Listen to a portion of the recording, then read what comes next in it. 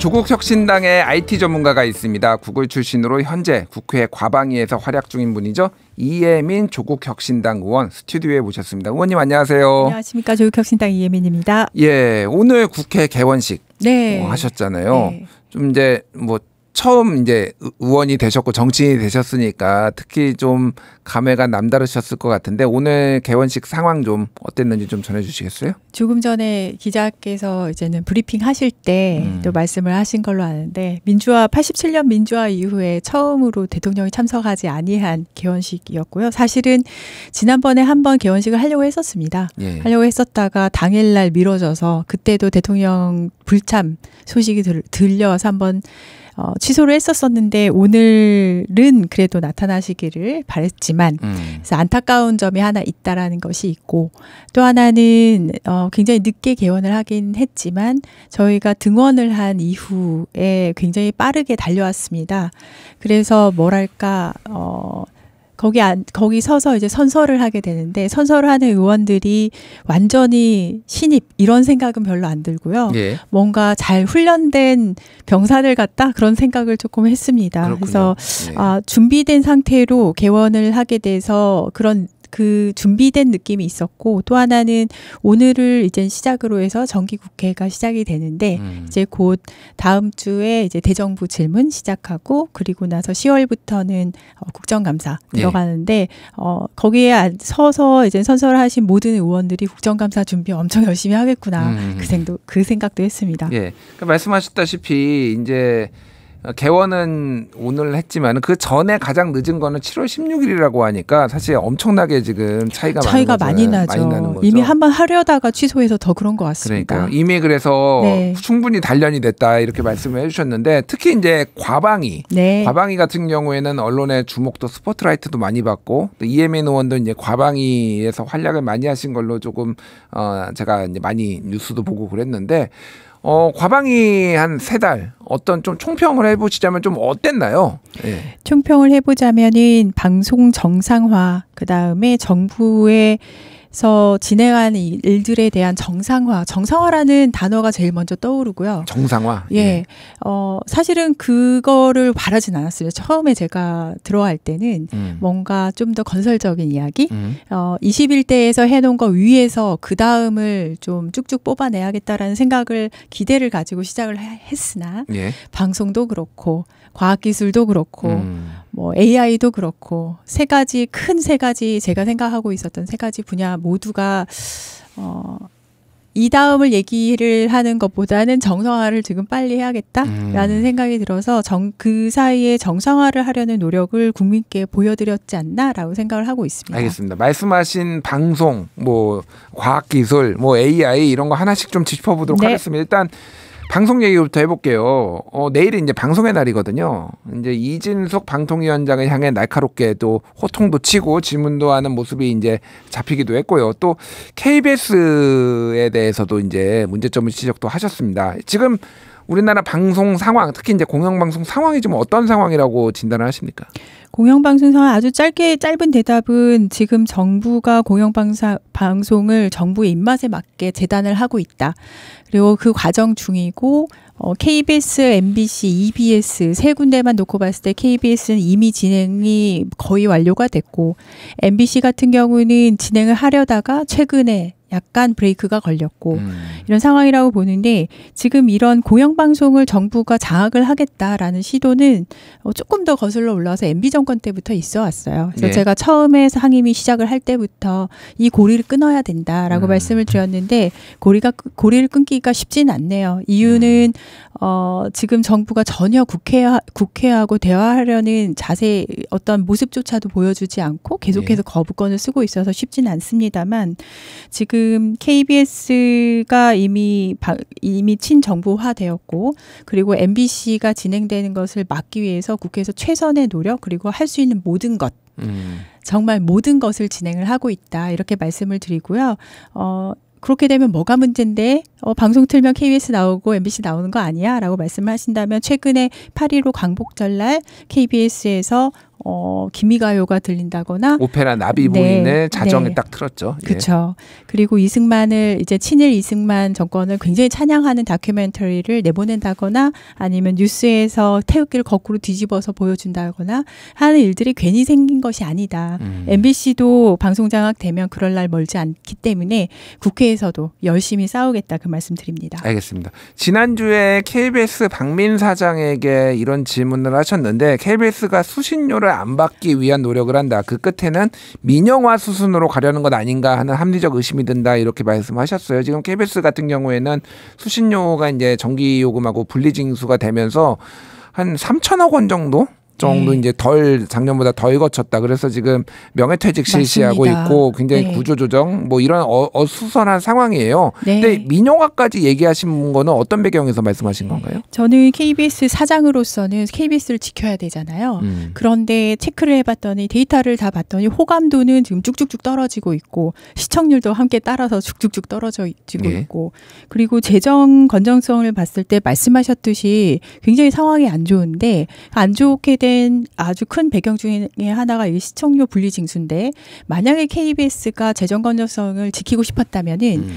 이 시청료 분리 징수를 한전하고 이제는 영수증 이제 고지서가 나갈 때 알아서 고지를 처음부터 분리를 해서 했을 텐데 예. 그러지 않고 처음에 어, 직접 시청자가 그걸 신청을 하게 한 거예요. 나 분리해서 낼래요. 음. 그러다 보니까 지난 1년 동안 이게 시행이 지지부진되면서 시청료는 오히려 안 거치고 음. 그다음에 시행이 된 올해 7월부터도 실제로 제대로 거치고 있는지 파악조차 안 된 상황이었어요. 예, 그래서 예.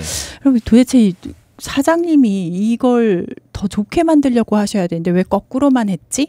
라고 짚어봤을 때 재정 건전성이 이제 떨어지게 되면은 결국에는 상업 광고에 의존할 수밖에 없고 음. 그렇게 되면은 결국에 민영화를 하려는 시도인가 그러면서 구조조정 자연스럽게 되는 것이 아닌가 이런 의혹을 제기를 했고요. 예. 거기에 대해서는 답변을 명확하게 주진 않, 않으시더라고요. 음. 그러니까 이제 뭐 시청료라고 하셨지만 이제 정확한 표현은 이제 수신료고 수신료가 되겠죠. 그리고 이제 KBS 그러니까 일각에서 과거에 나왔던 거는 KBS 1 KBS 2 그러니까 우리가 보통 익숙한 거는 채널명으로 채널명을, 9번과 그쵸. 7번이 있는데 이거를 7번 같은 경우에는 분리 매각 해야 되는 거 아니야라는 게 정치권이나 과거 또그 보수 정부에서 얘기가 나온 적이 있으니 그런 거를 좀 의심하신다 그런 그렇죠. 거죠. 예. 네, 그런 시도가 이미 있었었고 음. MBC도 그런 시도가 있었던 사람을 지금 방통위원장으로 앉혔기 때문에 음. 어, 합리적인 의심이라고 생각을 하고 본인이 대답을 거기에 대해서 반박은 안 하시더라고요. 음, 알겠습니다. 그건 좀 그 의원님이 좀 잘 지켜보시고 네. 대, 대안을 내주셨으면 좋겠고요.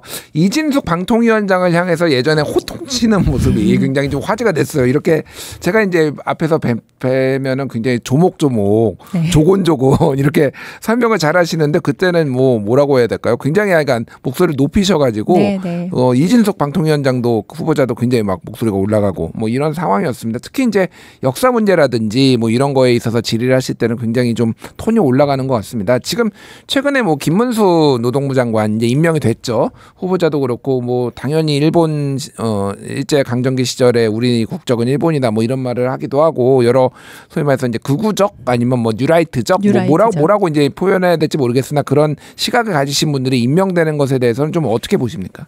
어, 역사 인식 바- 방금 조곤조곤하지 않았다라고 말씀을 하셨는데 어, 저는 역사 인식에 대해서 그냥 보편적인 대한민국 구, 국민이면 가질 만한 역사 인식을 가지지 아니한 사람이 그렇게 요직에 특히 음. 방통위원장 같은 경우는 우리나라의 장관급 굉장히 고위직입니다. 예. 그리고 방송 전체를 어느 정도 톤을 가져갈 수 있는 사람이기 때문에 그런 자리에 어, 뉴라이트적 혹은 친일적인 음. 사관을 가진 사람이 앉아 있다는 것 자체가 큰 일이다 음. 싶어서 그것을 보고서 목소리를 높이지 아니할 혹은 화를 내지 아니할 대한민국 국민은 저는 없다고 생각을 하고 있고요. 예.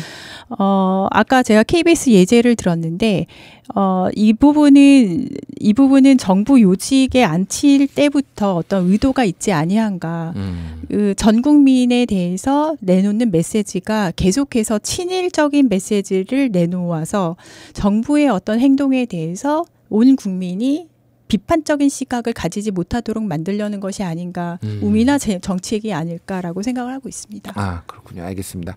자, 과학기술 얘기를 좀 해볼게요. 아무래도 이제 IT 전문가시도 하니까 먼저 요 질문부터 한번 드려볼게요. 이제 여당에서 주장하는 건데 이 과방위가 과학기술, 정보통신, 뭐 방송 뭐 이걸 다 다루니까 야, 방송 때문에 도저히 진도가 안 나간다. 네. 이거 법안도 과학기술 법안도 쟁점도 우리가 다루지 못하고 니까 분리하자. 이게 이제 여당에서 이제 법안도 발의하고 지금 얘기가 나오고 있는데 그 의견에 대해서는 좀 어떻게 생각하십니까? 저는 그 의견은 조금 더 내용을 들여다봐야 된다고 생각을 하는 좀 신중한 입장이긴 합니다. 음. 왜 그런지는 알겠어요. 하지만 어, 상임위가 과방 현재 과방위가 어, 그냥 구성되어 있는 것이 아니라 모든 상임위가 정부 부처하고 이렇게 매치가 돼서 구- 그렇죠. 만들어져 있어요 구조가 음. 그렇게 되면은 함께 일어나야 되는 것은 어떻게 보면은 정부 조직법부터 같이 바뀌어야 가- 바뀌어야지 진짜 원하는 그 목적 달성을 할 수 있을 거라고 생각을 해서 이 부분은 마냥 아니에요 혹은 맞아요라고 말하는 것보다는 정부 조직법하고 같이 움직이는 모습을 봐야 된다고 음. 답변을 드립니다. 알겠습니다. 최근 임명된 유상임 과기부 장관 이제 교수 출신이고 유상범 의원 형이기도 하죠. 그렇죠. 또 평가를 해보신다면 좀 어떨까요?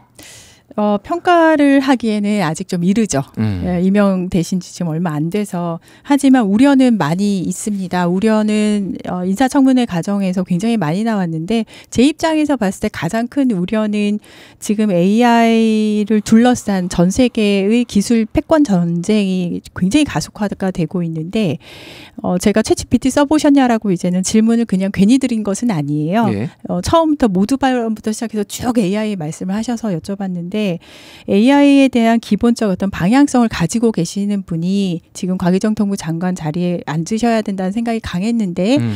거기에 대해서는 아직 큰 그림이 없으시다. 그렇다면은 도대체 과기정통부에서는 누가 AI에 대한 키를 잡고 갈 것인가 이 큰 우려가 있어서 지속적으로 처, 제가 가장 관심 있게 쳐다보고 음. 있는 부분입니다. 이제 뭐 이제 IT 전문가시니까 조금 요 현안에 대해서 여쭤볼게요. 네. 그러니까 예전에 이제 최근에 박영선 장관도 저희가 모시고 한번 인터뷰도 하고 그랬는데 우리나라가 지금 AI 시대로 들어오면서 굉장히 과거의 IT 강국의 지위를 잃어버릴 가능성이 높아졌다 이런 진단들을 많이들 하시더라고요. 지금 어떤 상황에 있고 정부는 어떤 거를 좀 해야 되는 걸까요?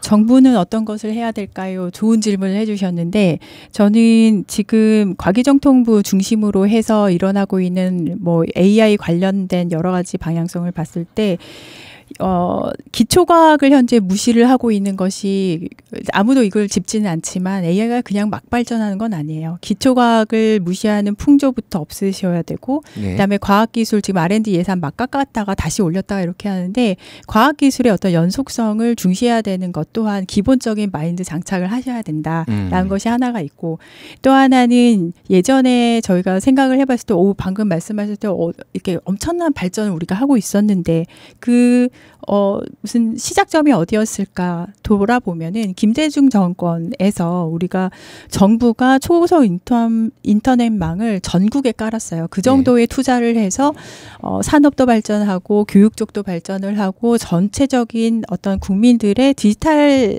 혹은 인터넷에 대한 리트러시가 다 올라갔다고요. 음. AI도 관련해서 정부가 이 정도의 투자는 긴 호흡을 가지고 해야 된다. 이렇게 생각을 하고 민간이랄 지 아니면은 구- 보- 소위 말해서 전문가라고 불리는 분들하고 손잡고서 현실적인 대안을 마련을 해 나아가야지 그렇게 과기정통부 안에 갇혀서 굉장히 좁은 시각으로 보면은 큰일 난다. 전 세계에 대한 표준화 방향이랄지 아니면 기술 아까 말씀드린 기술 패권 전쟁 이 모든 것을 보면서 진행을 해야 된다. 이런 음. 말씀을 드립니다. 알겠습니다.